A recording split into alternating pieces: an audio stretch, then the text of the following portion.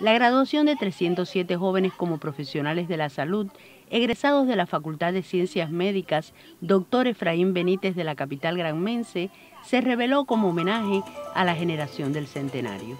En la ceremonia académica, 52 graduados recibieron título de oro, expresión de la pasión sagrada de los persistentes. Otros fueron distinguidos por su quehacer relevante en la vida estudiantil, del deporte, la cultura, entre otras actividades.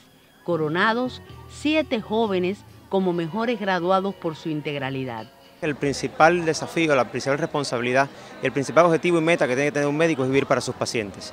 La dedicación al pueblo en este caso, que es, gracias a su existencia existimos nosotros, es el mayor compromiso que podemos tener. El curso que recién culmina, lo que era filial de Ciencias Médicas de Bayamo, ahora acreditada como facultad exhibe mayor pertinencia en el claustro y promedio superior en notas.